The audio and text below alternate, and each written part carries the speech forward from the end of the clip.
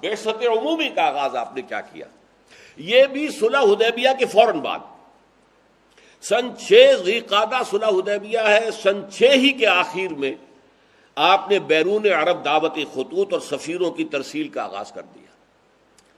سن چھ کے آخر میں تو زیقادہ کے بعد زی الجا ایک ہی مہینہ رہ گیا نا۔ تو اس میں تو صرف نجاشی کی طرف بھیجا گیا، چونکہ وہ جو ایمان لائے تھے نجاشی، حضرت نجاشی، جن کا کہ تابعین میں شمار ہے، ان کا انتقال ہو گیا تھا۔ اب جو بھی تھا وہاں بادشاہ، وہ عیسائی تھا، اس پہلا خطاب نے اس کو بھیجا۔ پھر یکم محرم سن سات سے آپ نے جو خطوط اور سفیر بھیجنے شروع کیے، تو نوٹ کرتے جائیے۔ کیسر روم، ہرکلیس ہرکل اعظم، دہیا کلبی رضی اللہ تعالیٰ عنہ بھیجے گئے۔ آپ کا ناب مبارک لے کر۔ خسرو پرویز، اس کی طرف عبداللہ ابن حضافہ سہمی رضی اللہ تعالیٰ عنہ یہ بھیجے گئے خط لے کر۔ مقوقس شاہ مصر۔ اصل میں شاہ کا لفظ اس کے لیے صحیح نہیں ہے، وہاں ایک مذہبی حکومت تھی عیسائیوں کی، اور پیٹری آرک جو کہلاتا تھا، عیسائیوں کا جو سب سے بڑا جو ہے سردار ہوتا تھا، وہ وہاں کا بادشاہ تھا۔ ان کی طرف حضرت حاطب ابن ابی بلتا وہ جن سے غلطی ہو گئی تھی، فتح مکہ سے پہلے کہ انہوں نے خط لکھ دیا تھا اپنے عزیزوں کی جان بخشی کے خیال سے، اور وہ مکے والوں کو اطلاع دے دی تھی۔ حضور نے خفیہ رکھا ہوا تھا اپنے مکے کی طرف جانے کو۔ لیکن انہوں نے اطلاع دیتی تھی وہ، لیکن ان کے بارے میں آپ کو معلوم ہے، حضور نے فرما دیا تھا کہ یہ جو حاطب ابن بلتا ہے، یہ بل یہ تو اصل میں صحابی ہے اور بدری ہے لہذا اس کے اگلے پچھلے سارے گناہ اللہ پہلے معاف کر چکا ہے۔ شاہ عمان کی طرف بھیجے گئے عامر ابن العاص رضی اللہ تعالی عنہ۔ اچھا اب جو خاص طور پر جہاں سے کہ اب کشمکش شروع ہوئی ہے، وہ ہے کہ شام سے متصل جو قبائل تھے، عیسائی تھے، تو عرب قبائل یہ عیسائی تھے۔ کیونکہ رومن رومن امپائر کے تحت رہے تھے، اس کے تحت انہوں نے عیسائیت قبول کر لی تھی۔ وہاں ایک دعوتی وفد بھیجا گیا کیونکہ کوئی ایک بادشاہ نہیں تھا، مختلف قبائل تھے۔ پندرہ افراد جو ہے اس میں شہید کر دیے گئے۔ صرف کاب بن عبیر غفاری بچ کر آئے ہیں وہاں سے، باقی وہ شہید کر دیے گئے۔ اب یہ چونکہ سلطنت روما کے تحت تھے، تو گویا کہ اب جو چھیڑ چھاڑ کا معاملہ شروع ہوا، وہ سلطنت روما سے ہوا۔ اور یہ اس کو میں نے اپنے نوٹس میں لکھا، میں دیکھ رہا تھا کہ آئرنی آف دی فیٹ یہ ہے کہ وہ رومی عیسائی جن کی شکست پر مسلمان بہت دل شکستہ ہوئے تھے، دل گرفتہ ہوئے تھے، جبکہ ایرانیوں نے شکست فاش دی تھی ہریکلیس کو۔ اور جن کی فتح جب ہوئی ہے، یوم بدر کے وقت ہی ہوئی ہے، تو مسلمانوں نے جشن منایا تھا۔ اس لیے کہ ظاہر بات ہے کہ ایرانی آتش پرست تھے مشرقوں سے قرب رکھتے تھے۔ اور یہ عیسائی تھے، حضرت عیسیٰ کے ماننے والے، تو مسلمانوں سے قرب رکھتے تھے۔ تو بدقسمتی جس کو میں کہہ رہا ہوں، اگرچہ یہ لفظ ہمیں استعمال نہیں کرنا چاہیے، ہر شاید اللہ تعالیٰ کی حکمت کے تحت ہوتی ہے۔ البتہ آئرنی آف فیٹ جو ہے، وہ لفظ مناسب ہے اس کے لیے کہ پہلا تصادم جو ہوا حضور کا صلی اللہ علیہ وسلم، وہ ہریکلیس کے ساتھ ہوا۔ کہ پندرہ صحابہ شہید کر دیے ان قبائل نے کہ جو اس کے تابع تھے۔ اور خاص طور پر رئیس بسرا شرح بیل بن عمر غسانی، یہ بھی عرب تھا۔ لیکن یہ بھی عیسائی تھا۔ باج گزار تھا، یہ بادشاہ کی شکل میں تھا۔ اور یہ باج گزار تھا، رومی جو امپرر تھا اس کا۔ اس کی طرف بھیجے گئے تھے ایلچی کی حیثیت سے حارث ابن عمیر رضی اللہ تعالی عنہ۔ حارث ابن عمیر ازدی۔ اس نے ان کو بھی شہید کر دیا۔ گویا کہ آپ کے سولہ سفیر جو ہے ان علاقوں میں شہید کر دیے گئے کہ جن علاقوں میں عیسائی آباد تھے۔ اور نمبر دو یہ کہ جو ہرکل کے تابع تھے۔ یہ صورتحال ہوئی جس پر کہ پہلا رد عمل حضور کی طرف سے ہوا غزبہ موتا۔ اسے غزوہ کہتے ہیں، اگرچہ عام طور پر خیال یہ کہ غزوہ اسی کو کہتے ہیں جس میں حضور بھی شریک ہوئے ہوں۔ حضور اس میں شریک نہیں ہوئے۔ لیکن ظاہر بات ہے، سفیر کا جو قتل ہوتا ہے، وہ اعلان جنگ ہوتا ہے۔ اب گویا کہ شام کے ان عیسائیوں کی طرف سے اعلان جنگ ہو گیا۔ تو حضور نے ایک لشکر تیار کیا، تین ہزار افراد پر مشتمل صحابہ کرام کا۔ اور اس میں گویا کہ آپ کو پہلے سے معلوم تھا کہ کیا حالات پیش آئیں گے۔ آپ نے تین جو ہے سپہ سالاروں کا اعلان کر دیا کہ پہلے زید ابن حارثہ ہوں گے رضی اللہ تعالیٰ عنہ۔ اگر وہ شہید ہو جائیں تو جعفر ابن ابی طالب جو حضور کے چچا زاد بھائی ہیں، حضرت علی کے بڑے بھائی، جعفر ابن ابی طالب۔ اور اگر وہ بھی شہید ہو جائیں تو عبداللہ ابن رواحہ، یہ انصاری ہے رضی اللہ تعالیٰ عنہ، یہ تین کا آپ نے نام لے کر تعین کر دیا۔ اب وہاں کیا ہوا؟ جب یہ تین ہزار کا لشکر جو ہے یہ حدود شام میں داخل ہوا تو معلوم ہوا کہ وہاں تو تیار ہے ایک لشکر، ایک لاکھ یا دو لاکھ پر۔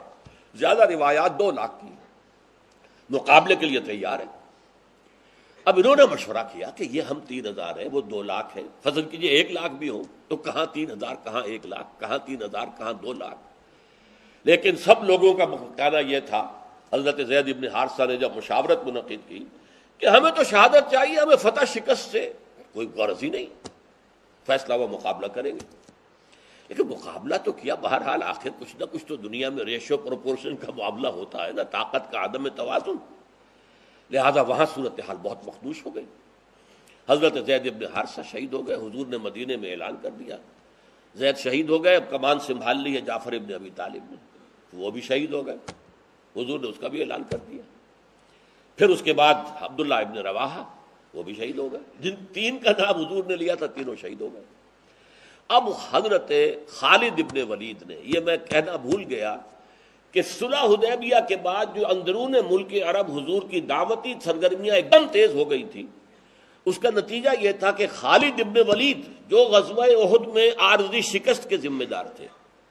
اور عامر ابن العاص جو سفیر بن کر گئے تھے قریش کے اور گئے تھے نجاشی کے پاس کہ ہمارے بگوڑے یہ آ گئے ہیں، مسلمان یہاں پر یہ ہمارے غلام ہیں، انہیں واپس کرو۔ یہ دونوں ایمان لے آئے۔ اسی دوران میں فتح مکہ سے پہلے۔ اور حضور نے فرمایا صحابہ سے کہ مکے نے اپنے جگر گوشے تمہارے قدموں میں ڈال دیے یعنی یہ کوئی معمولی آدمی نہیں ہے۔ خالد ابن ولید کو معمولی انسان نہیں ہے۔ امر ابن العاص کو معمولی آدمی نہیں ہے۔ مکے نے اپنے جگر گوشے جو ہے وہ تمہارے قدموں میں ڈال دیے۔ تو حضرت خالد ابن ولید رضی اللہ تعالی عنہ میدان میں آئے، انہوں نے خود کمان سنبھالی اور بڑی حکمت عملی سے لشکر کو بچا کر نکال کر لے آئے۔ اس میں صرف یہ ہے کہ بارہ مسلمان شہید ہوئے، باقی لشکر بچ کر نکل آئے۔ یہ بہت بڑی کامیابی تھی۔ لیکن جب یہ لشکر واپس مدینے پہنچا، مدینے والوں نے مٹی پھینکنی شروع کر دی۔ بگوڑے ہیں، یہ میدان سے بھاگ کر آئے ہیں۔ حضور نے فرمایا، نہیں، یہ بگوڑے نہیں ہیں۔ یہ تو آئے ہیں الاف یہ اپنی بڑی جماعت کے پاس آئے ہیں تاکہ یہاں سے مزید کمک لے کر پھر جائیں۔ تو اس حوالے سے حضور نے فرمایا کہ نہیں کو بگوڑے مت کہو تو یہ غزوہ متا ہوا۔ اگرچہ جرم کی سزا تو نہیں دی جا سکی، لیکن یہ بات کہ محمد الرسول اللہ کے آدمی تین ہزار ہو کر وہ دو لاکھ کے لشکر سے ٹکرا گئے، اس نے ایک بہت روپ قائم کر دیا پورے علاقے پر۔ ہلا دیا اس پورے علاقے کو کہ یہ طاقت کیسی ہے ان کے اندر۔ منحصر مرنے پہ ہو، جس کی امید نا امیدی ان کی دیکھا چاہیے۔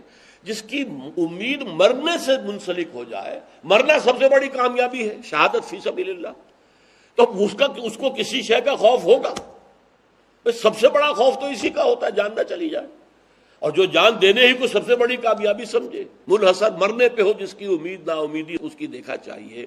تو گویا کہ ایک بہت بڑا جو ہے، زبردست رو پڑ گیا۔ اور جس کے نتیجے میں سلطنت روما کی جو ہے جڑیں ہل گئی اس کے بعد پھر ہرقل نے تیاری کی زور شور کے ساتھ۔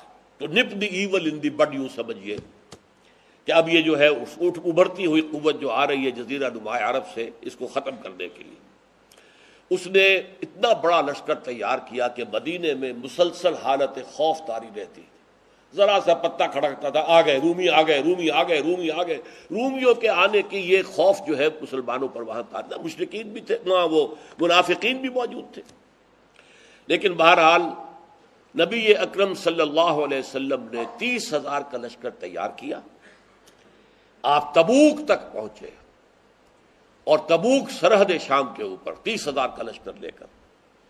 تیس دن تو لگے ہیں آپ کو جانے اور آنے میں، پندرہ پندرہ دن۔ بیس دن آپ نے وہاں قیام کیا۔ ہرقل میدان میں نہیں آیا، اپنی فوج لے کر پیچھے ہٹ گیا۔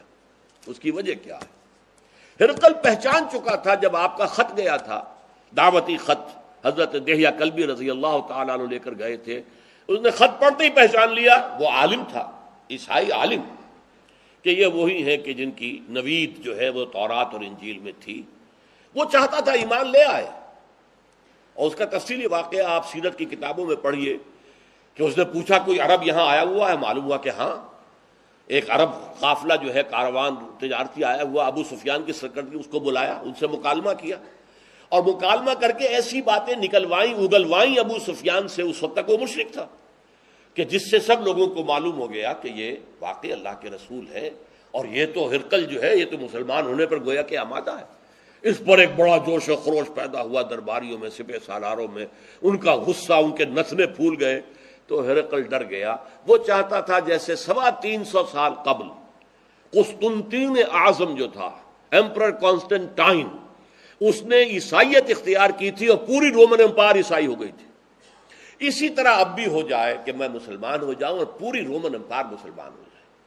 لیکن یہ کہ جب اس نے دیکھا کہ میرے درباری، میرے مصاحبین، میرے سپہ سالار، یہ تو نتنے ان کے پھول رہے غصے سے، تو وہ اپنی وہ جو بیڑیاں پڑی ہوئی تھی سلطنت کی، بادشاہت کی انہی میں بندھا رہ گیا اور اس نے انکار کر دیا۔ پہچان چکا تھا۔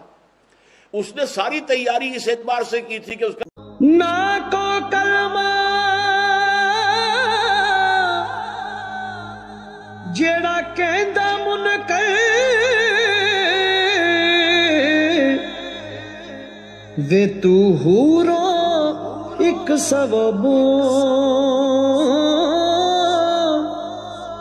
بلے شاہ چلے اوتھے وسیع جتھے منا نہ کرن شرع خیال تھا کہ جیسے غزوہ موتا میں حضور نہیں آئے تھے مسلمانوں کا لشکر تھا۔ اس طرح شاید اب بھی محمد نہ آئے صلی اللہ علیہ وسلم۔ جب اس نے دیکھا محمد خود آئے ہیں صلی اللہ علیہ وسلم، اس کو پہچان چکا تھا کہ یہ اللہ کے رسول ہے لہذا وہ پیچھے ہٹنے میں آفیت سمجھی۔ چونکہ یہ ایک بڑا محاورہ ہے غالباً انجیل کے اندر ہے، کہ وہ جیسے کہ چھری اگر تربوز یا خربوزے پہ پڑتی ہے تب بھی خربوزہ کٹتا ہے۔ اور اگر خربوزہ چھری پر گرے گا تب بھی خربوزہ ہی کٹے گا۔ اس طریقے سے چھری کا تو نقصان نہیں ہوگا۔ اللہ کا رسول جس سے ٹکرائے، اس کے لیے شکست لازم ہے۔ اس لیے وہ پیچھے ہٹ گیا۔ حضور وہاں بیس دن قیام کر کے واپس تشریف لے آئے۔